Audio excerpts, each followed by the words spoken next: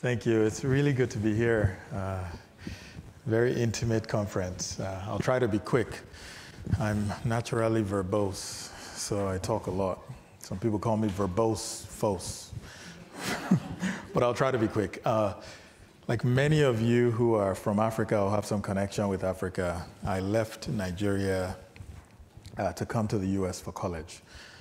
And when I came, I said this in my panel, I had no intentions of ever going back. Got a one way ticket, and I was ready to embrace the American dream prosperity, America, everything was exciting. I didn't go back home for eight years. And then in 2008, I started reading books on development and economics, and it really gripped me like nothing had ever gripped me before, right? And so that year, I went back home for the first time. I was born in Benin, grew up in Lagos, uh, but this time I was on a mission. I was going to address poverty. So I went to a village, and this is uh, one of the first pictures I took. Right, you guys see a couple of women by the banks of a, a river washing clothes. Uh, I later found out that many people in that community didn't have access to water, and so this is sort of daily life for people. You go, you, you, you get water, the kids spend a lot of time doing this. And instantly I thought to myself, I know the answer to the problem. Raise money, start an organization, build a well. And that's exactly what we did. That guy in the middle is me, about 25 pounds ago. Uh, yeah. yeah, gone are the days. Anyways, built the well, felt really good about myself. If you've never done it, let me just tell you.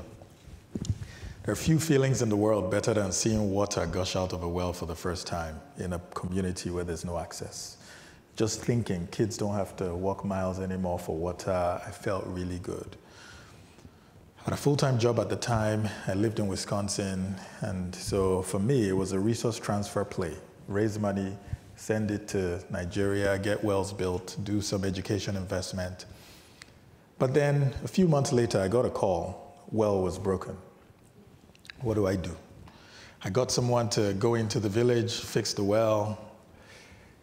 But then I got that same call another few months later, and I got that call about practically every well that we built. And then I realized that model is not sustainable. I can't keep raising money building wells, and then having the wells break. And so I stopped. And I told my friends, we're going to stop building wells. We'll do other things, but we'll stop building wells. I initially, I thought it was our problem, yeah? I thought, you know, just a group of passionate guys, excited about doing good. We didn't know what we were doing. I started doing research and I found out it wasn't just us. Um, this was really a microcosm of the bigger development industry. There were hundreds of millions of dollars worth of broken wells in poor communities all over the world. Billions, really. But the research report I read said hundreds of millions, so I like to quote that. Uh, but my guess is billions of dollars. Because it's one thing to build a well, but it's, it's another thing to make it sustainable. So this approach in our research, we, we call it a push approach to development, where you go into a poor community and with good intentions, the best of intentions, we push a resource onto people. And it makes sense, right? Because if you've ever encountered poverty, just like the pictures I showed, it almost always shows itself as a lack of resources. You know, a lack of food, a lack of clothes, a lack of water, a lot of lack of uh, education. And so instinctively, we are designed to push those resources to those communities to try to solve the problem. But we don't really uh, understand how the resources we're pushing are going to connect to the communities. And so a lot of times these resources really are not signs of uh, a lack of poverty or even prosperity. They're actually uh, signs of more poverty. Right? When you go back home, for instance, and you see schools, do those schools really look like prosperity, like kids are prospering? When you see wells that are broken, when you see hospitals, Right? How many of us would go and get treated in a public hospital, perhaps in Nigeria or, or Kenya or Malawi? So these aren't really signs of prosperity. And so I thought the push approach isn't working. Uh, let's figure something else out. And so I went back to school, uh, got a business degree, and I've been doing research on this since 2015. Uh, shameless plug if you haven't gotten my book, get one. All right. Um, they're outside, they're outside. Um, don't support Amazon, support me. No, I'm kidding, I'm kidding. Hey, Jeff Bezos, I was kidding. Um, so, this is, this is what I've learned about development. Um, the thing I, I want to talk about now is uh, what, what we've discussed in chapter four. Because over the past few years, we've been writing this book, and I learned something about the difference between pushing the resources we think will solve a problem versus creating a market that enables resources to be pulled into an economy. And I'll explain this by talking about Indomie noodles. How many folks ate Indomie growing up? All right. When you were eating Indomie, I'm sure you didn't know this was an integral part of economic development. but here we go. So 1988 is when they started importing noodles to Nigeria. If you remember, in 1988, Nigeria was under military rule. We would not get democracy for another 11 years. Uh, we were a lot poorer than we are today, uh, per capita income of less than $300. Uh, about 80 or so percent of the population lived on less than $2 a day, life expectancy 46 years. So I would be sort of in my prime now uh, if I were living then. Uh, so you, you, you, you get the idea. This Nigeria did not spell great investment destination. Come and put your money here. But these two guys, two brothers, Haresh and Sajjan Aswani, saw the demographics in Nigeria. Instead of looking at the country and saying, uh, there's no opportunity here, and the best we can do is provide resources, they thought to themselves, like, how do we give people access to create a meal for themselves that's easy. And that's sort of, that was their focus. Instant noodles were easy. You can cook it in less than three minutes. Uh, you add a boiled egg and it becomes sort of a filling uh, meal. So they tried to figure it out, and they did, right? 1995, they started building factories in order to meet demand. But Again, if you've lived in Nigeria or you know anything about it, or Africa, you know we don't have infrastructure. So in order to build a plant, a manufacturing plant, they had to provide their own electricity, water treatment facilities, uh, wastewater systems. So after they did that, they say, okay, let's figure out how to get this product from point A to point B. Well, there's no UPS, USPS, FedEx, and so they had to build their own logistics systems. So they purchased a bunch of trucks, hired a bunch of drivers. Uh, in doing that, obviously, you have to hire mechanics, people that would fix these things. And then they said, okay, now we've got this. Let's, where do we store these things? You know, warehouses. They built warehouses. How do we get the product from the warehouse to the store? Um, in my panel, we talked about informal retail. So they invested quite a bit in retail storefronts. At the stores, they could sell other products. So you see all the things they had to do just to get a pack of noodles, 20 cent pack of noodles from the factory to the plate in your house. And you realize all the things that this pulled into the Nigerian economy. This is one of my favorite slides because it shows over the past 30 years all the things that just getting one pack of noodle to us has pulled into the Nigerian economy close to half a billion dollars in investment. They're now paying millions of dollars in taxes. Uh, they've invested in distribution, thousands of jobs directly, and in the supply chain, tens of thousands, They're grossing about a billion dollars of revenue now in Nigeria. The last thing I'll sort of mention is how this connects to the ideas in our book, and hopefully it's encouragement for many of you who are thinking about entrepreneurship. When we were doing research uh, for the book and trying to figure out okay, uh, what is this connected to, or how is this connected to entrepreneurs in the US who would say built the US or in Asia? What we found is the activities that they engaged in when they were creating new markets to get products to as many people as possible were similar to the activities these guys were engaging in. You know, at the onset, when you're creating a market, you, you have to do the hard work. You have to do the hard work of vertically integrating. Um, and, and if you don't do the hard work of vertically integrating, it's incredibly difficult for you to build a sizable business that makes products affordable to as many people as possible. 1988, when they introduced noodles, many Nigerians, no joke, thought noodles were worms. Like we had, that wasn't part of our diet, staple food, um, and they had to educate sort of the, the population. Like, no, this is this is good. And now there are 16 other players in the market, right, making and selling noodles. And this process of market creation, even when the circumstances are hard, uh, what we found is it's really at the core of many development successes.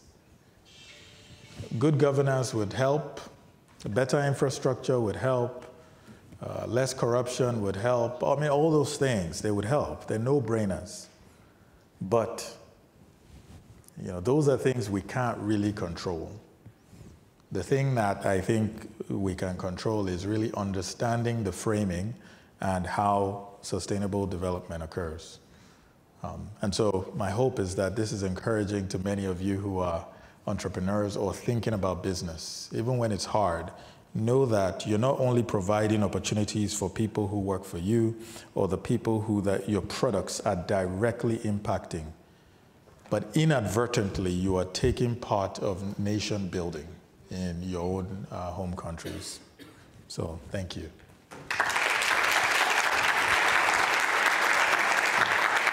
So we, have got time for a couple of questions. So if you have a question for Fosa, please let us know. Make it a good one and, and uh, not, not a hard one. Okay, there's a question over there. Um, uh, I, I love this story. I recently finished your book and I super love this story.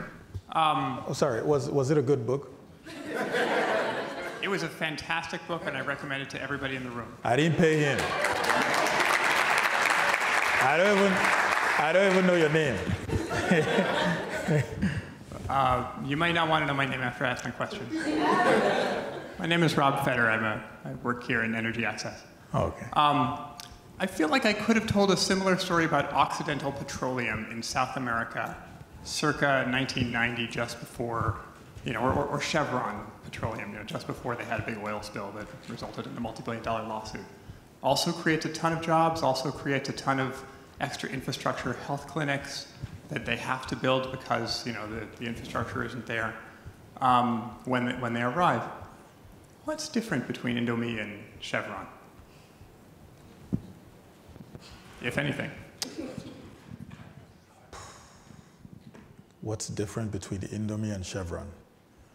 Um, well, so I've got a couple of minutes. Maybe I'll take this uh, elsewhere. I don't want to talk too long. So, in, in our book, uh, we describe the activities of resource um, extraction firms as efficiency innovations. That's chapter two. Not all innovation is created equal.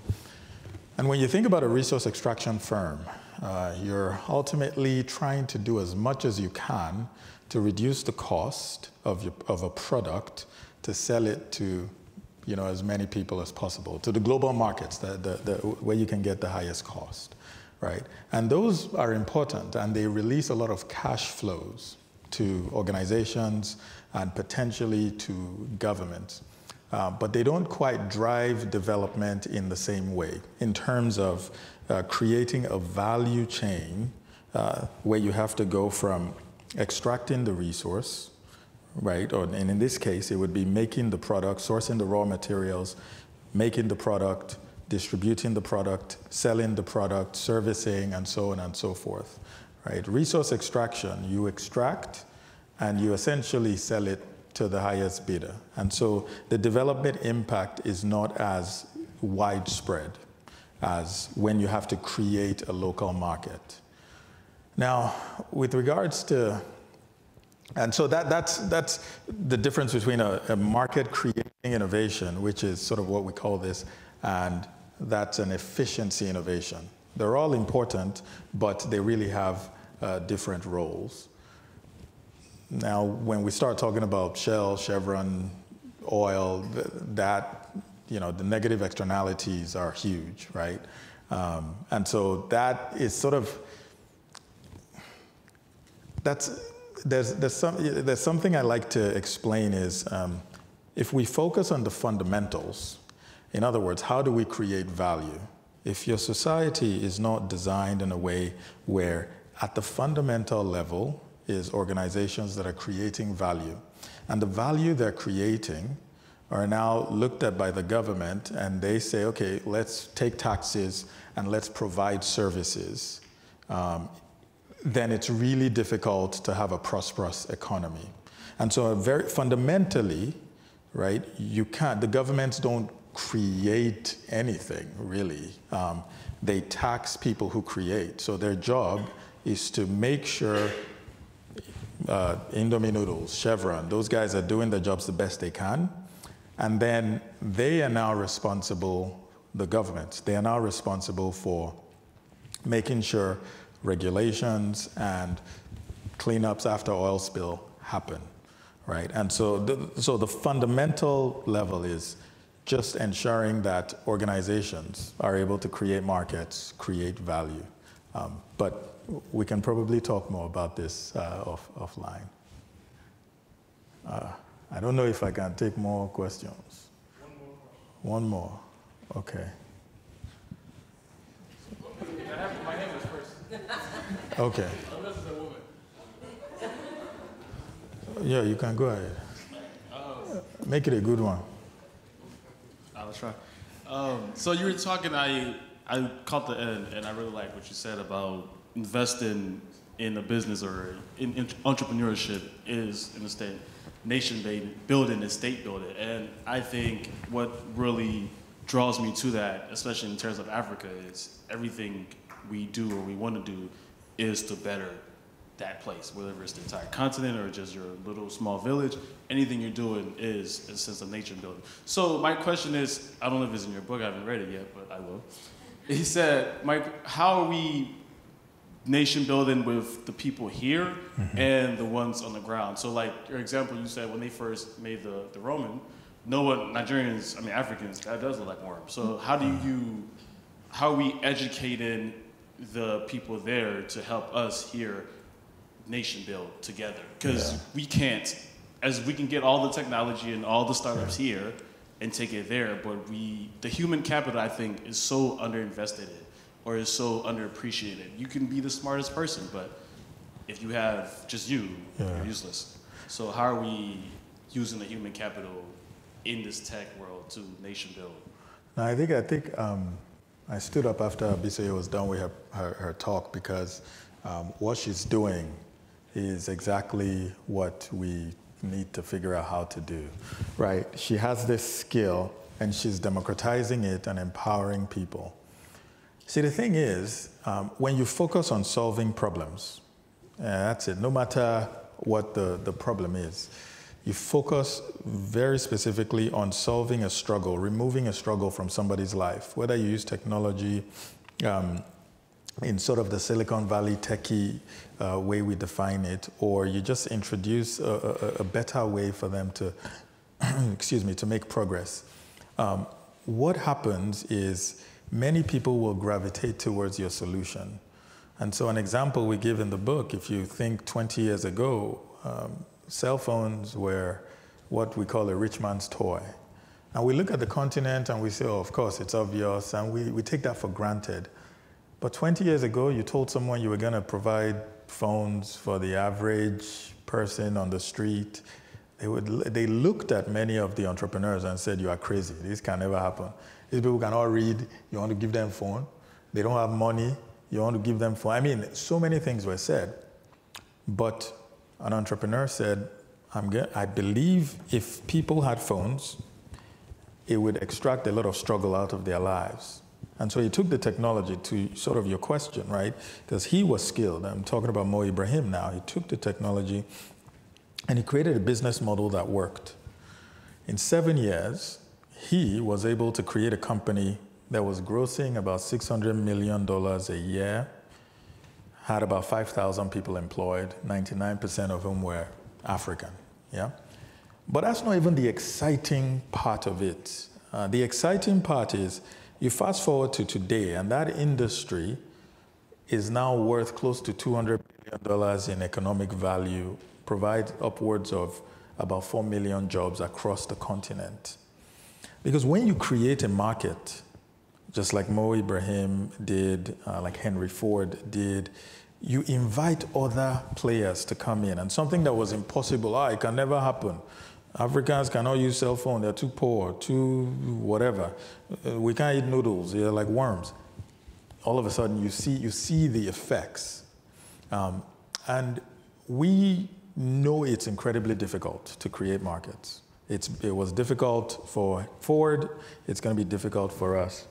And so part of our research is now that we've written the book, how can we make it easier for people who are really trying to create markets? How can we spotlight these guys? How can we start connecting them to people with resources? Uh, because if more people believed this was the surest path to development, and if we made it a bit easier for them, honest to God, I believe we can eradicate poverty in our lifetimes. It's a framing issue. The resources are there, the money is there. We throw a ton of money away on useless projects that don't work. I built five wells, small, little small me, Wisconsin guy, five wells. You, know, you can imagine how many wells are being built, metaphorically speaking, that will break in six months.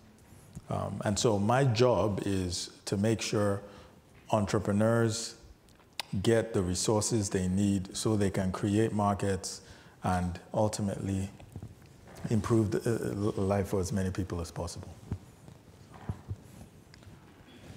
Um, yeah. But uh, I beg, buy, buy my book. Thank you.